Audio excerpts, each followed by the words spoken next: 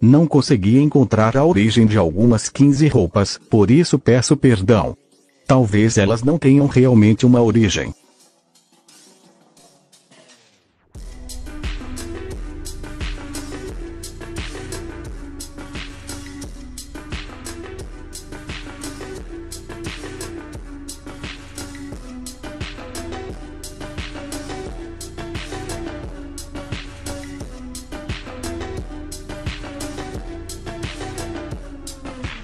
Os Incas eram povos antigos que viviam em Machu Picchu, cuja religião tinha o deus do sol, no qual foi inspirada a roupa. Percebemos a referência do sol e das penas principalmente no chapéu.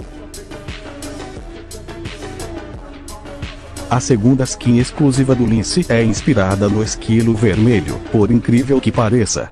Percebemos a semelhança nas orelhas, que são bem alongadas e peludas, e até mesmo nas patas, que têm um formato diferente.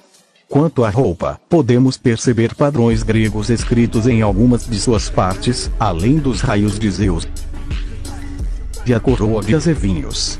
Podemos dizer que é inspirada na mitologia grega. Essa skin é uma mistura de urso, pinguim macarone e morsa. Não preciso falar mais nada, apenas observem as comparações.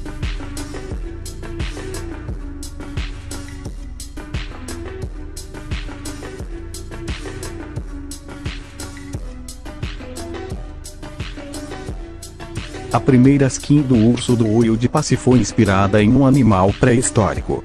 Você pode chamar esse gigante de Arctodocimos, urso de cara curta ou ainda urso de cara achatada. Esse ancestral dos ursos viveu entre 800 mil e 12.500 anos atrás, na América do Sul e Norte.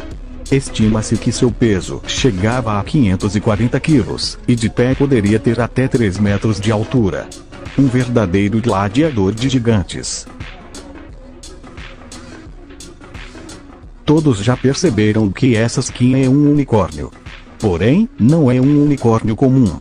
Ele é inspirado nos primeiros relatos e lendas de unicórnios que ocorreram por volta do século 7.